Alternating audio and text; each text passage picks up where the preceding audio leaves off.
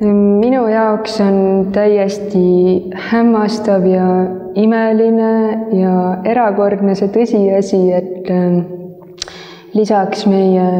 füüsiliselt meeltega tajutavale kogemusruumile toimub meie eluga paralleelselt kuskil sügaval mikroskoopilisel rakkude ja bakterite tasandil ma ei oska isegi näppu peale panna sellele konkreetsele hetkele, kui see teema mind esimest korda kõnetama hakkas, kuid äh, ühel hetkel tekkis minu teadvuses see tahk, et, äh, et ma ei ole ainult minu keha, ma ei ole ainult see, mida ma vahetult oma meeltega tajun vaid minu elu toimub ka kusagil hoopis sügavamal tasandil, millele mul puudub ligipääs ja mul puudub ka selge arusaam sellest, missugused sündmused seal täpselt aset leiavad ja mis,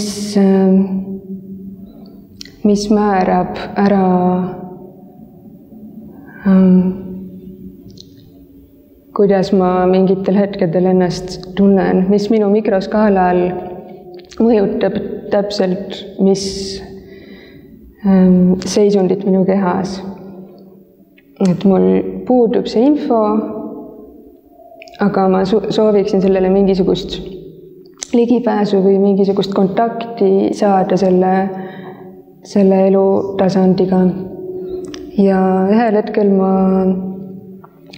leidsin, et enda jaoks ma saavutan selle kontakti läbi loomingu. oma kujutluse abil ja paberi ja pintsli abil ma justkui mängin enda jaoks läbi selle elu tekkimise protsessi või selle mm, põhimõtteliselt jäljendan manuaalselt seda, kuidas tekib rakk, kuidas ta pooldub, kuidas rakust kasvab kude. ja kui ma avastasin enda jaoks akvarelli meediumi, siis tekkis kohene äratundmine, et et, et see on täpselt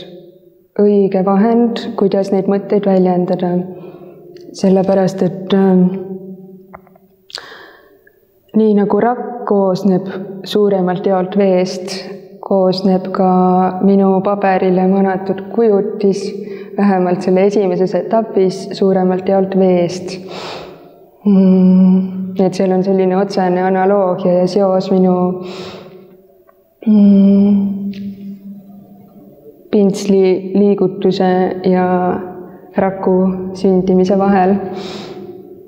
mm.. ja teine asi, mida ma olen enda jaoks aina enam teadvustanud, on see, et äh, maalimise ajal ma olen samaaegselt äh, justkui looja ja jälgija positsioonis. et mõnel hetkel ma avastan, et äh, selliste teadlike otsuste ja valikute tegemise asemel ma hakkan ennast tajuma hoopis kui kõrvaltvaatajana ja olen justkui tunnistajaks sellele, kuidas,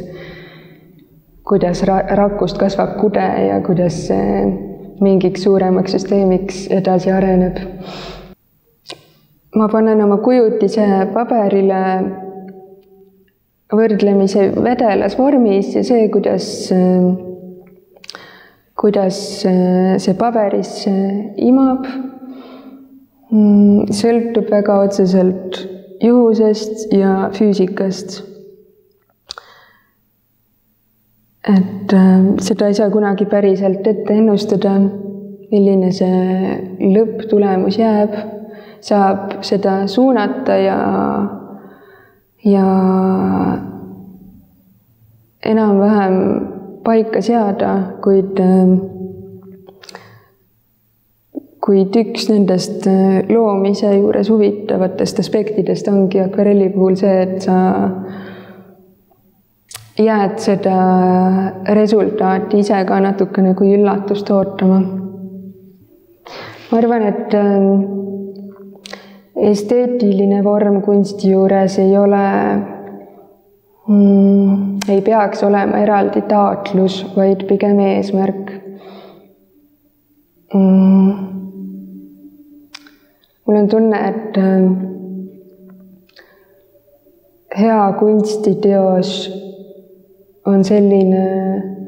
milles on oskuslikult kokku viidud äh, teatav pingestatus ja teatav rahu.